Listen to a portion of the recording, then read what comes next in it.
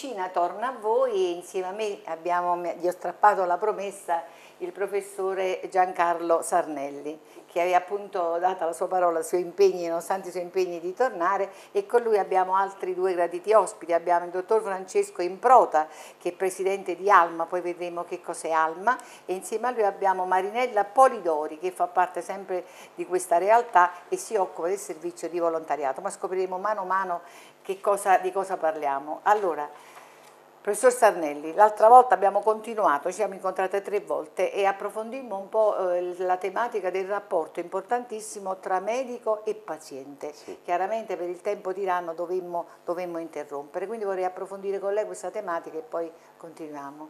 Sì, vi ringrazio di questo ennesimo invito. E fondamentalmente l'abbiamo detto l'altra volta, soprattutto in alcuni ambiti è fondamentale che medici e pazienti viaggino assieme Affinché tutto ciò sia possibile c'è necessità di sensibilità da entrambe le parti. Questo permette il raggiungimento di taluni obiettivi, l'altra volta parlammo di emigrazione sanitaria, soprattutto dalla Campania verso le regioni dal nord e eh, la fortuna in Federico II, nel nostro dipartimento, è di aver avuto un po' un'alchimia di persone dotate di questa sensibilità. Il direttore del dipartimento, il professore Giovanni De Palma, eh, in maniera lungimirante ha appoggiato questa iniziativa che ha permesso di raggiungere in pochissimo tempo eccellenti risultati proprio mh, facendo sì che ci sia una collaborazione stretta tra i medici che si occupano di talune patologie e abbiamo qui degli esempi e i pazienti stessi. Quindi l'obiettivo deve essere comune e affinché si possano raggiungere gli obiettivi che come ho anticipato l'altra volta, sono lusinghieri nell'arco di manco due anni, eh, abbiamo fatto sì che circa 200 pazienti affetti da una malattia rara, poi ce lo spiegheranno gli stessi pazienti, anziché emigrare al nord, siano stati gestiti al sud con eccellenti risultati e con notevole risparmio da parte economico per la sanità e eh, su questa ottica la nostra iniziativa che è stata tra le prime in Italia ha fatto sì che all'interno dell'ospedale venisse offerto uno sportello, quindi uno spazio alle associazioni dei pazienti. Quindi abbiamo dato uno spazio, una stanza all'associazione dei pazienti Alma e loro attraverso, ce lo racconteranno certo. eh, in prima persona, cooperano con noi per offrire un servizio migliore ai pazienti, che molto spesso pazienti affetti da malattie rare è veramente un calvario, non sanno a chi e come affrontare talune problematiche. Credo che sentire le testimonianze dirette sia, sia la cosa migliore. il messaggio più importante, però vorrei ripetere, anzi le chiedo scusa per chi non ci avesse seguito la volta scorsa, il professor Starnelli è gastroenterologo presso la Federico II di Napoli, Università Federico II. E allora passiamo la parola al Presidente di Alma. Vi ringrazio per l'opportunità eh, che ci date di far conoscere questa associazione.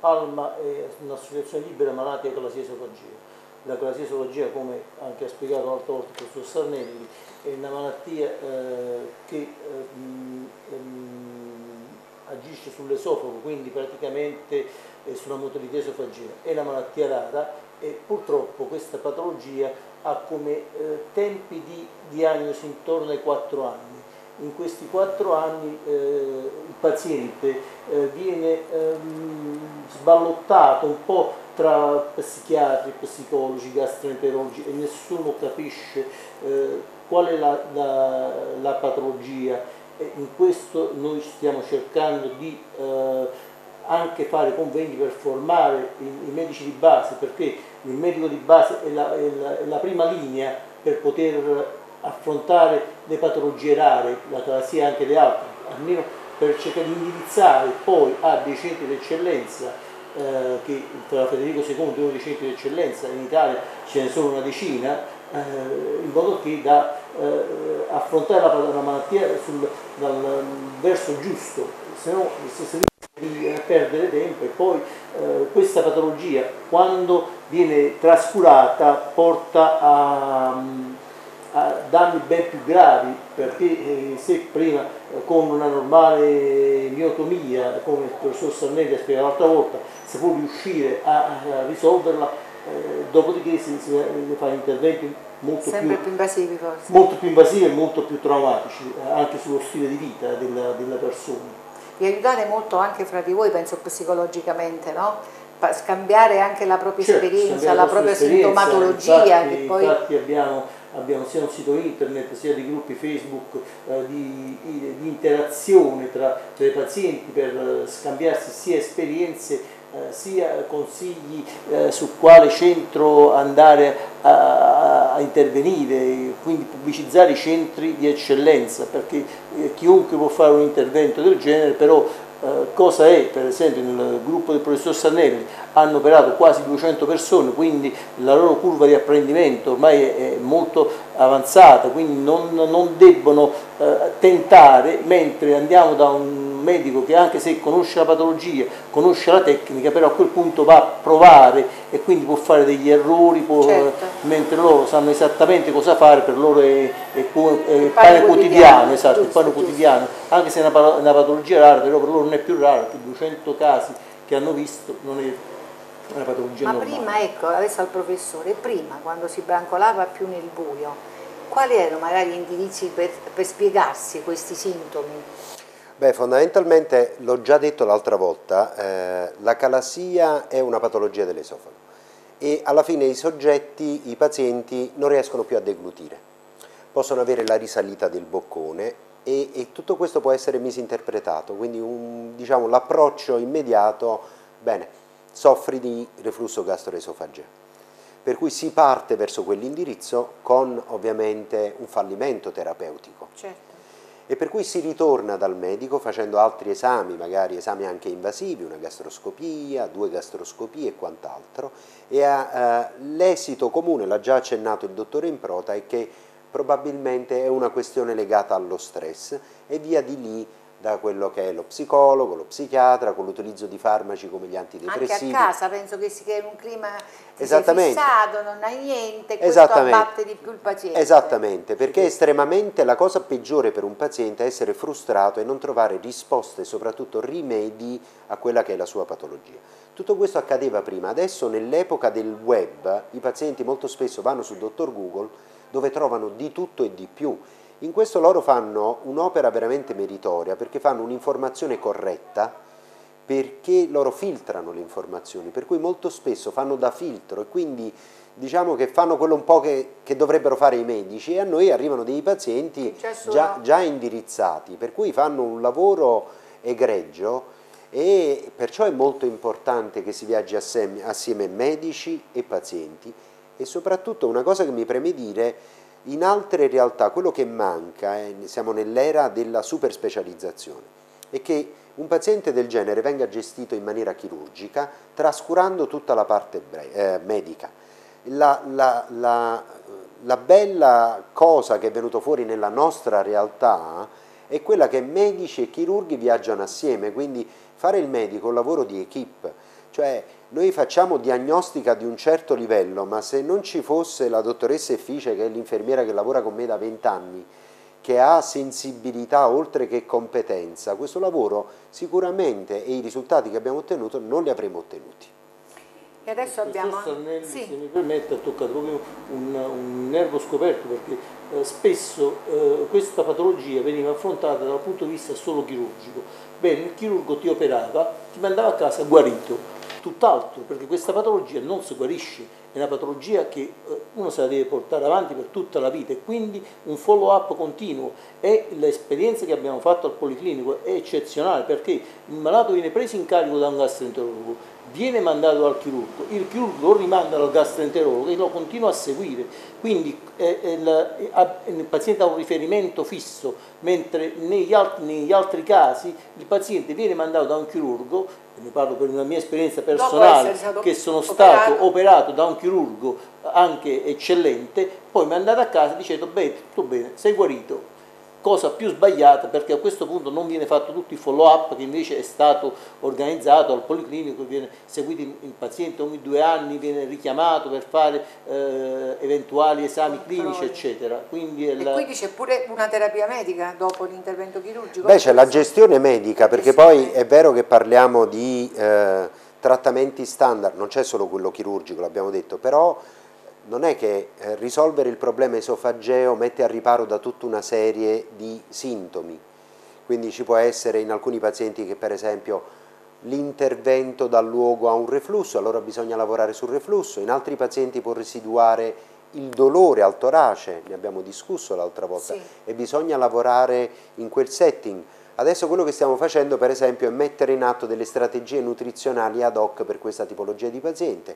Entra in gioco un'altra figura che è quella del nutrizionista. Quindi è un lavoro veramente che viene fatto in equip, non può essere gestito da un singolo specialista o da un singolo professionista. È stata questa la chiave di volta della, di tutto Quest il Sì, sì, perché si offre, è un po' come un negozio in cui uno ha bisogno, cioè va cambiata la prospettiva. I medici offrono un servizio. Per cui se il servizio è ottimale, è come entrare in un negozio con una bella vetrina e trova competenze diverse. Bene, e abbiamo qui una bella signora Marinella Polidori che di questa realtà fa parte anzi del servizio, eh, del, di, responsabile del servizio di volontariato. Ci sì, dici qualcosa? Sì, mi occupo del, del volontariato, in effetti um, lavoro al Policlinico, gestisco l'ufficio per, per l'accoglienza dei malati. In più l'associazione Alma ha istituito anche una linea helpline dove i pazienti che vengono diagnosticati o che sospettano di avere questa malattia, ma da tutta Italia chiamano per avere un supporto, per avere dei chiarimenti, perché in effetti ehm, ho notato in questi anni la grande difficoltà che hanno i pazienti a cui viene diagnosticata una malattia rara non capiscono di che cosa si tratta, hanno delle, delle, delle paure, quindi una volta avuta la diagnosi poi cercano di capire che cosa, che cosa hanno, che cosa le porterà la malattia. Poi ci sono dei centri di eccellenza in tutta Italia, però sono mm, dislocati in tutta Italia, in effetti abbiamo il centro qui a Napoli, ce n'è un altro molto importante a Roma, a Padova, a Milano, noi gestiamo molto il Policlinico di Napoli, lavoriamo con il Policlinico e, ed abbiamo un rapporto, ecco come l'ha spiegato bene il professore, c'è l'accoglienza del paziente, il paziente viene eh, indirizzato, calmato, ha delle... il paziente raro ha delle difficoltà perché quando avviene una diagnosi, dietro questa diagnosi c'è un lungo percorso di, di sofferenza e, ed ha, ha bisogno, cioè in effetti un malato quando ha una diagnosi sta male, dice ma oh madonna sono malato, invece il, il paziente raro nel momento in cui ha una diagnosi si, si sente serena, liberato, credo, si sente rasserenato. Sì, sì. Ed ecco che uh, poi so mano a mano, negli, so esatto, finalmente so cosa ho, adesso che cosa mi aspetta. Ed ecco che noi diamo... Date anche questo soprattutto psicologico, sempre in equipe, come dice il professore. psicologico no, diamo mm, una... Forse pratico di indirizzare, un esatto. aiuto, sì. Professore, ma una volta, ecco, una volta questi pazienti che sono stati operati, diciamo, la terapia medica anche questa varia, la mia domanda è soprattutto se è una malattia di genere, se colpisce più le donne o gli uomini o non c'è una casistica? Non c'è una differenza, noi abbiamo... O l'età, ecco, per esempio. L'età è, eh, come dicemmo l'altra volta, è molto rara nei bambini, quindi è una malattia dell'adulto, è una malattia rara che si manifesta tra i 20 e i 50 anni e ciascun paziente adesso sta venendo fuori, pur avendo la stessa etichetta di acalasico, però ha delle caratteristiche diverse. Ci stanno alcuni pazienti per esempio che manifestano questa difficoltà a spingere giù il boccone, quindi non riescono ad alimentarsi. Invece in altri pazienti prevale il dolore toracico. Il dolore toracico è un qualche cosa di estremamente preoccupante. Tutti noi, pur senza competenze mediche, di fronte a un dolore toracico pensiamo, pensiamo al subito al cuore.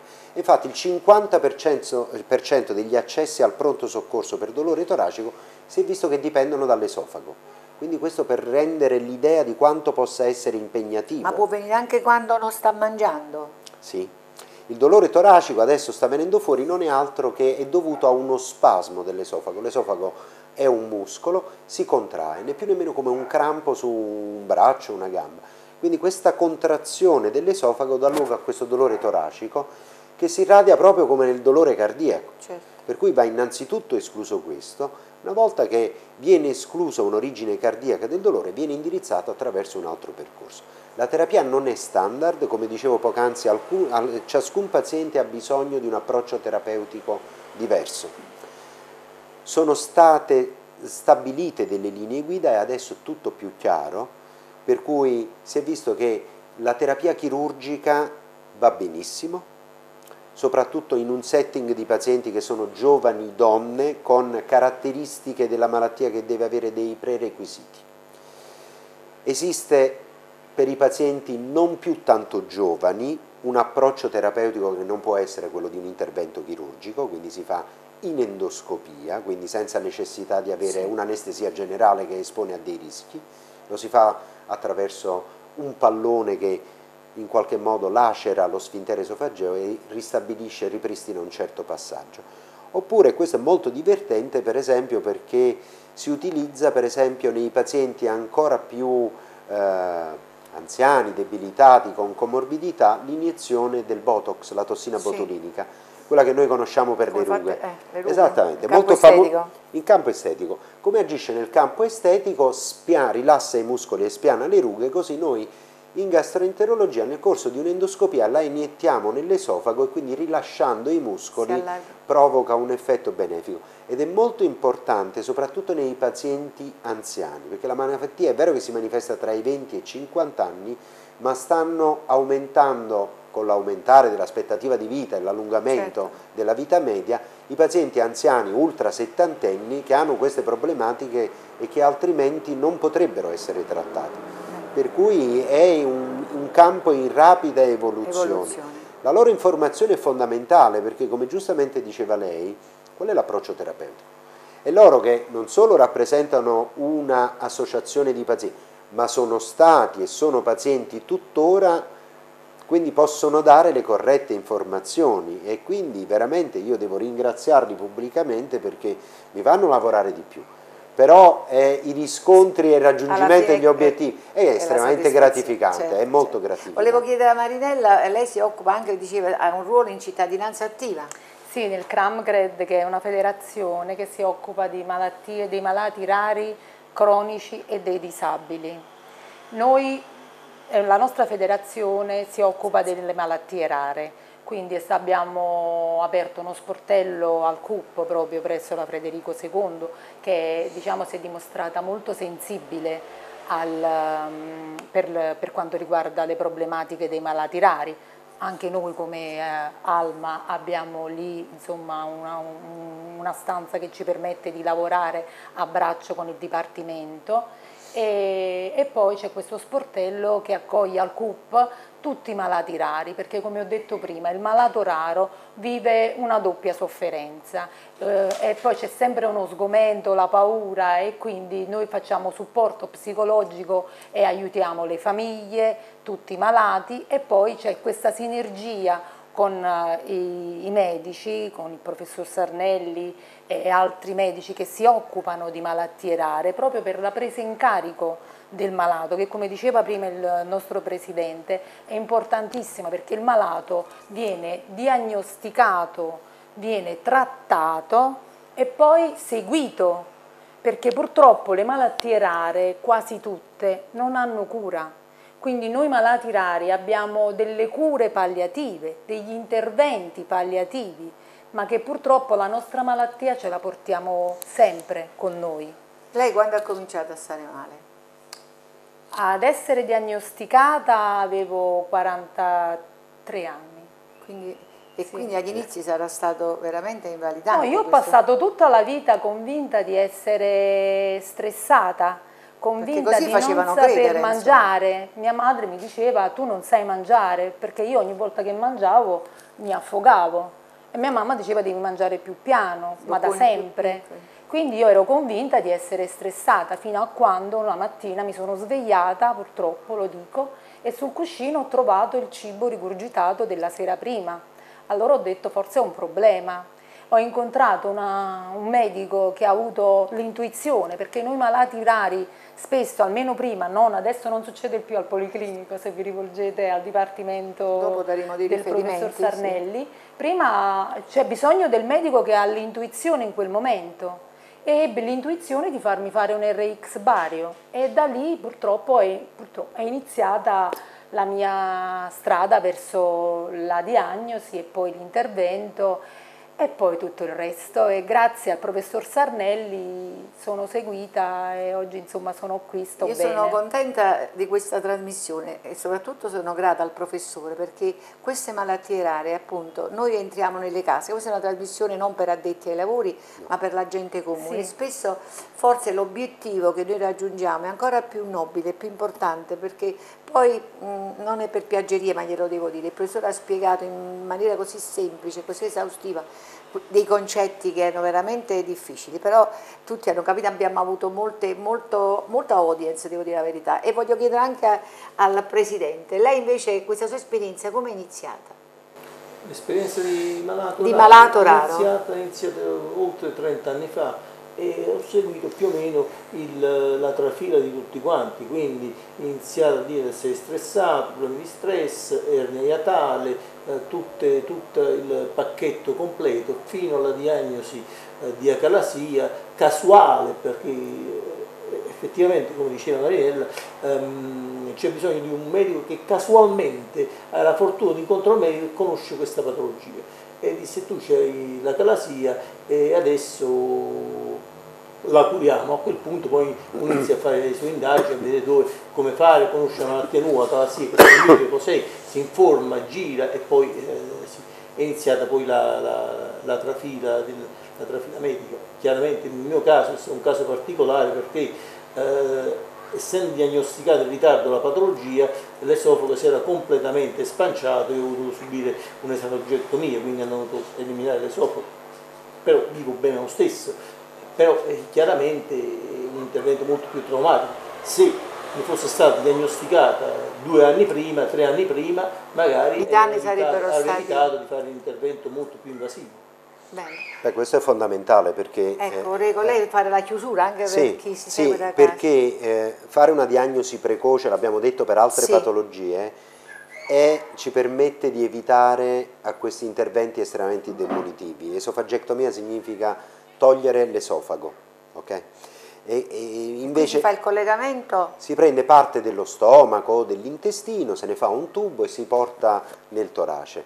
E ovviamente eh, è un intervento Importante. impegnativo, importante. Fortunatamente esistono casi come eh, Francesco che reagiscono perché lui è un combattente, tempra, sì. esattamente Sì. si vede, reagisce e si difende benissimo, però non è sempre così, per cui l'importanza di una informazione ma non solo per i pazienti, io faccio un appello soprattutto ai medici, agli operatori sanitari. Bisogna pensarci, l'altra volta parlammo di approccio olistico, ecco, uno- c'è bisogno di medicina generale, di pensare da più prospettive per cercare non di mettersi una medaglia, ma cercare di risolvere i problemi.